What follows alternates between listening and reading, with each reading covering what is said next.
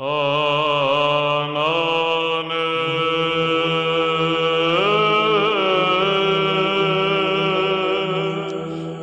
there!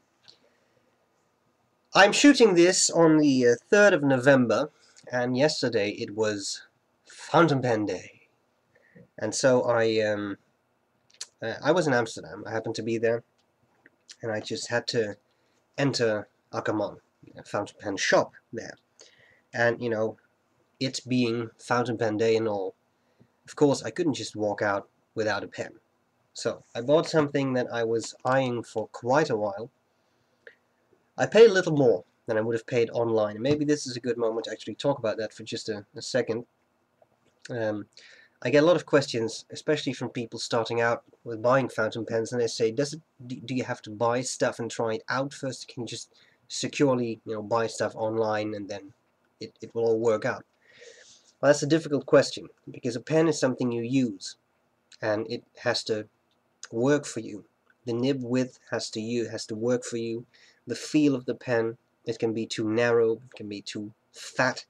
Uh, the the I, I, I'm not just talking about the nib. I'm I'm talking about the pen itself. You may not enjoy. It may look cool, but then, you know, they use fantastic photography on on online shop uh, websites.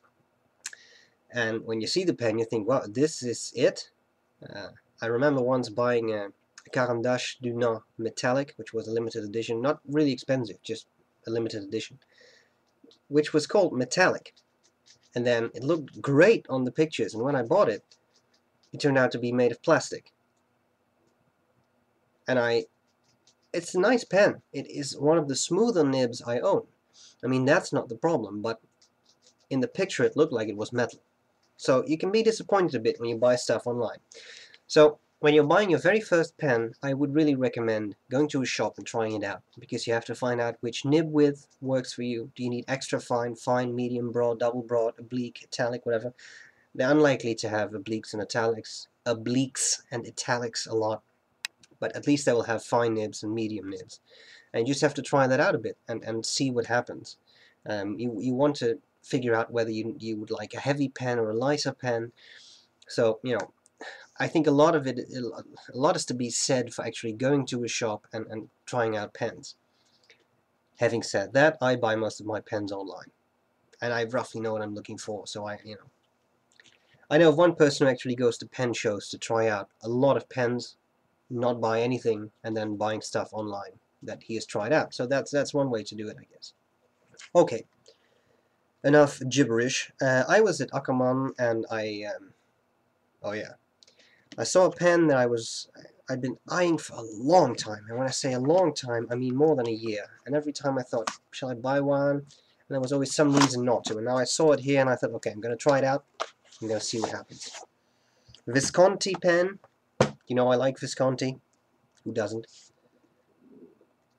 One of my friends actually once said, I hate Visconti. And I said, really? He said, yeah, the pens are too cool. And it's... That's just what it is. So, nice boxes they have. Really cool. This is uh, fake leather. Open it up. You get a little card for the My Pen system. so on top of the cap there's a, a, little magnet and it just has the Visconti logo when you buy the pen but you can put your initials on there whatever you have to buy that separately but that's what this this card is for in here is the Visconti Michelangelo Michelangelo whatever you like to call that I'll take that out I'll show you that in a second but first, I open the drawer. With a lot of these Visconti boxes for the more expensive pens, you get the drawer. And in the drawer is some stuff. Here we have Impregnate cloth for the cleaning of the bronze. Cleans, shiny, and it protects. Instructions. I think I already discussed this at some other pen review. Instructions. It cleans and shiny metal bronze parts of the pen, eliminating the dirty it formed on the surface of the metal. Yeah, I won't actually continue with this, but bronze. Okay, then we have a little booklet, The Writing Renaissance. And this is a pretty decent booklet. For 20 years, the name Visconti has been synonymous with extraordinarily elegant writing instruments coming from very intense historical and technological research, etc. Clearly, this is a bit of a promotion stuff for Visconti, but, you know, I, I just... Here we have Morgan Freeman with a Visconti pen, and I see Clint Eastwood, and uh, that all looks pretty cool. We got Oprah Winfrey. Huh? We got them all. We got some lady in a black dress, which looks very interesting. Oh, we have Barack Obama. So, I mean, a lot of people, we even have George W. Bush using this pen. Um, eye candy, very nice, very thick paper, very glossy paper. Looks looks beautiful. I mean, clearly good product photography. Trying to make you buy more pens. Ah, here we have the Opera Elements, my favorite Visconti pen of all time. I got it in red. Beautiful pen, fantastic nib. Um, yeah, so that's that's all very nice. Um, great. Anything else in there? No. No, that's it. On to the pen. Um, as far as I know, you can buy this pen in two finishes. There is a blue version, dark blue with palladium uh, highlights, and there is a black version with rose bronze. I didn't know there was such a thing, but apparently it's rose bronze highlights. And that's the one I got. And I think it looks gorgeous. I don't think I've ever seen an ugly Visconti pen, but it's, it's you know, this stuff is really, really cool. So, I'll cover the the pen, tell you what I like about it, what I don't like about it, and I'll do a writing sample. We'll start with the cap. Um, one thing that's interesting is that I, I'm, I'm not sure whether you can see it. Maybe you can see a little bit in the way it reflects the light, but this pen has 36 facets, like a diamond. Um, start with the cap.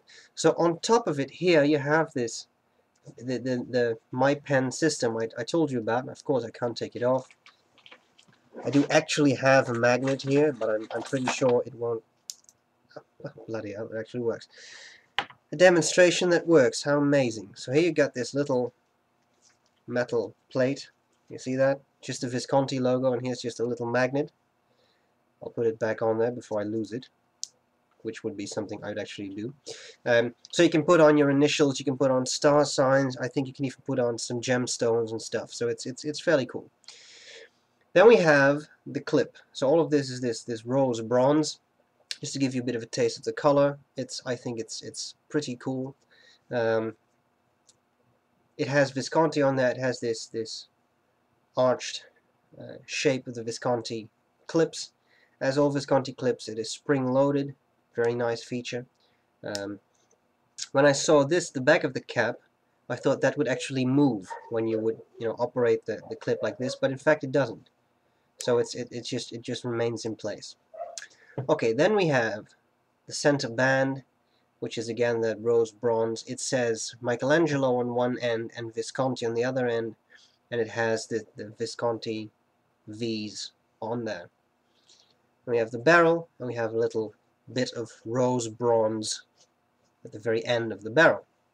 And the barrel too is 36 facets, faceted, has 36 facets. There are many facets to this pen. well, um, the cap. The lady in the shop was screwing, nothing happened, was sort of pulling, nothing happened. No, it's a magnetic closure. So you pull it off, it's a magnet. Do we still have that magnet there? Yep. There we go. Magnet in the middle of the cap, and that is not the, the clip. That's really something in there. Um, and in there, I guess. Okay, so there you have it, the cap. The pen. Rose bronze, nib in medium. I first tried the uh, the fine, uh, and I, I, you know, I don't really like fines. It wasn't as bad as I thought it would be, but I, I still prefer something broader, so they found a medium nib. Visconti 14K 585 Firenze and M for medium uh, fleur de lis on there, all kinds of nice stuff. And I like the color. Here we have the section, smooth but not slippery. Again, that rose bronze color. Um, it has a lip right there, which is actually fairly pleasant. It gives you a type of you know grip, purchase on the um, the section, flush with the barrel, and then we have the facet start there. So the, the section is not faceted. And I think that's not a bad thing. When I'm holding the, I'm just holding the barrel to see how what that would feel like. Yeah, it's not bad, but I think a round section is, is nice, at least for me. It's not a piston filler. It's a cartridge converter pen. Um, a regular regular converter. Some Visconti converters screw in, this one's just a, a push-in converter, but you know, gets the job done. I always find that these Visconti uh, uh, converters hold a lot of ink, which is good because most of these pens are very wet. Okay, screw that back in place.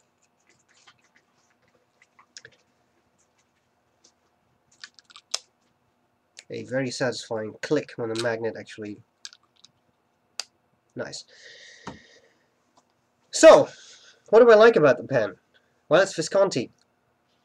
And um, that's pretty much all there's to it. I, I, you know, one thing I would probably enjoy is if that magnet, magnet would also work the other way around. So if I could actually use it for posting. I can post the pen, and it's pretty securely, but if there would be some type of magnet or, or bit of, I don't know, iron in the barrel, and it would click in place in this end, I think that would be awesome because it doesn't seem to be the case right now. Um, it's a decently shaped and sized pen as you can see it's it's on the big side as most Viscontis are. Uh, even when unposted you can use it fairly pleasantly. I think it's a beautiful pen. I just love the shiny black and the rose colored bronze. I think it's fantastic and I love it and there's really nothing about the looks of the pen that I don't really like. Um,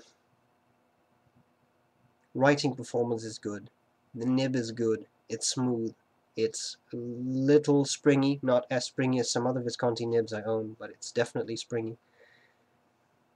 It's just a good pen. So I've been talking for a long time. I think it's best if I just show you a writing sample. So that's what we're going to do next.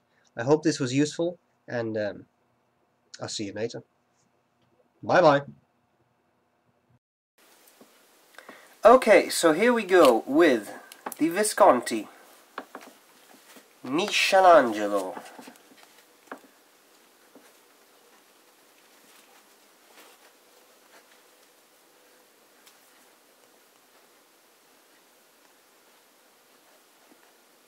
The nib is medium the ink is Oyster Grey by Montblanc. I like this grey. I think it's a very fascinating, legible ink. Okay, a bit of writing.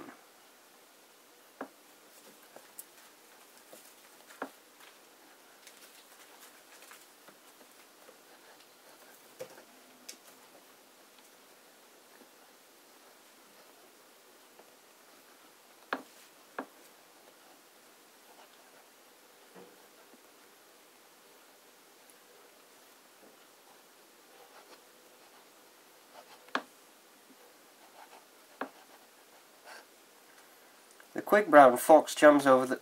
well, never mind. I'm not sure whether I fully agree here, but I just needed another artist, roughly the same period of time. Um, writing is, you know, this is a Visconti pen, so that, that kind of sums it up if you've never used one. I can tell you this is very smooth, very little resistance. I used this pen with the fine nib in the shop, and um, uh, you know I'm not a fan of fine nibs if, you, if you've seen more of my videos. Actually, that nib wasn't bad at all. But I just asked whether they had anything a bit broader, and they came up with a medium nib. Um, I don't think they had a broad nib, but that's okay. This is already, well, a pretty fat medium. Visconti nibs, I, I think, are on the broad side of the spectrum. But even the fine nib was not particularly scratchy. So that's, that's you know, it's a very nice, nice thing. Let's do some fast writing, see how that works out.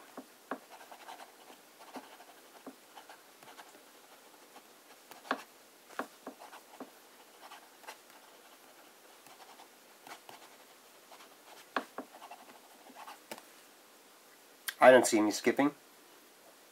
It remains smooth. I love it. Great nib. What about its flexibility? Usually these gold Visconti nibs offer a bit of flex. Same goes for their palladium nibs. Not, I mean, it's not, it's a, it's not a flex nib, but at least they have some above average springiness, I would say. So let's see. No pressure, and then we add pressure.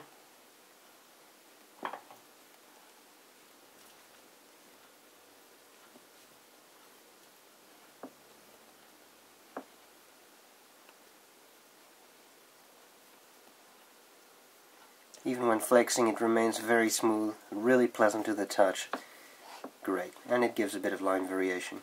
You see how it really brings out the shading of the ink uh, with the darker bits and the lighter bits. Gorgeous, absolutely beautiful. Okay, little bit of coloring to see how uh, wet the nib is.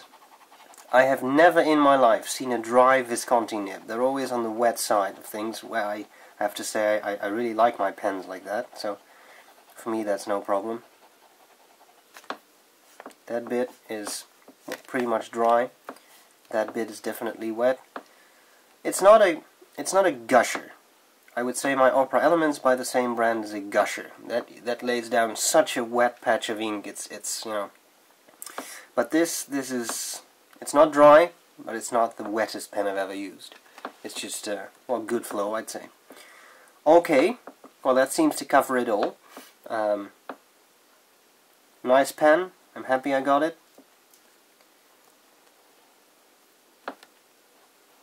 I hope this was useful. And um, I'll see you later. Bye bye.